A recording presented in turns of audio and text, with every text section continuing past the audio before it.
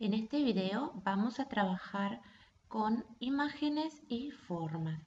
En primer lugar vamos a agregar una nueva diapositiva. Vamos a agregar una imagen, ¿sí? Para ello hacemos insertar imagen y buscamos la imagen que tengamos almacenada. Por ejemplo, esta.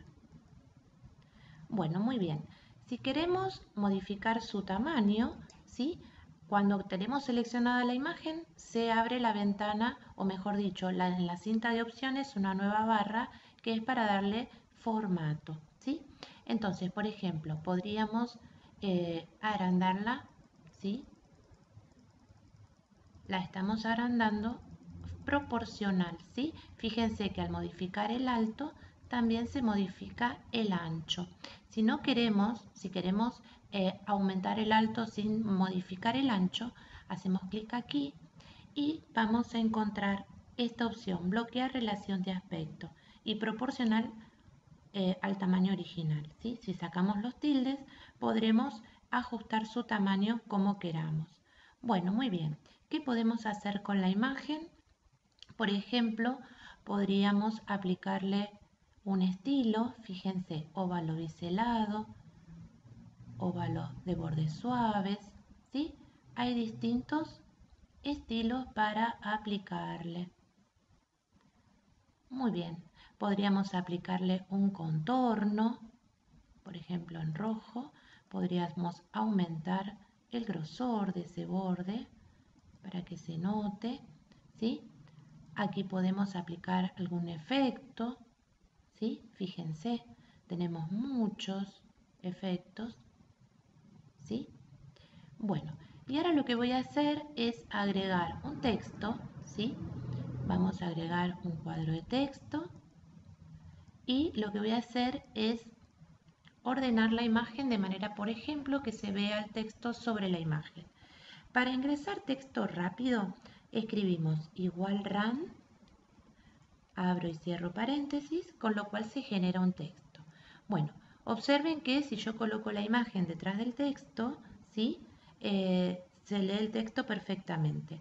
Esto es porque si hacemos botón derecho sobre la imagen, vamos a ver que tenemos distintas opciones. Si yo trajera la imagen al frente, ya no se, le, se vería el texto. ¿sí? Entonces, si la imagen no permite ver el texto y queremos que sí lo haga, la, pasemos clic con el botón derecho. A ver clic con el botón derecho y enviamos al fondo, con lo cual vamos a poder visualizar perfectamente el texto. Bueno, vamos a insertar una nueva diapositiva para trabajar con formas. ¿sí? Bueno, para insertar una forma hacemos clic en insertar forma y vemos que las formas se hallan clasificadas, ¿sí? formas básicas, flechas de bloque, Vamos a insertar, por ejemplo, voy a insertar esta, hacemos clic, ¿sí? Bueno, vamos a ver primero qué eh, modificaciones podemos hacerle. Podemos cambiarle el color de relleno, ¿sí? Podríamos colocar, por ejemplo, eh, un degradado a esa forma, ¿sí? Podríamos cambiar el contorno, el color del contorno. Podemos agregarle eh, texto, Vamos a poner hola. Muy bien. Bueno, supongamos que quiero agregar más formas del mismo tamaño que esta. Entonces, hacemos clic en inicio, copiar y luego hacemos clic en pegar. Repetimos el procedimiento las veces que sea necesario. Bueno, supongamos que ahora yo eh, quisiera tener otras formas de este lado, pero que estén reflejadas. Entonces selecciono, al seleccionar la forma aparece nuevas opciones y en girar podemos poner, por ejemplo, voltear horizontalmente. ¿sí? Entonces, tenemos estas así. Bueno, supongamos que ahora las tenemos en distintas posiciones y lo que queremos es que queden alineadas verticalmente. Seleccionamos la primera, apretamos la tecla Shift, seleccionamos el resto y en alinear vamos a elegir verticalmente. ¿sí? También podemos elegir distribuir verticalmente para que todas estén a la misma distancia.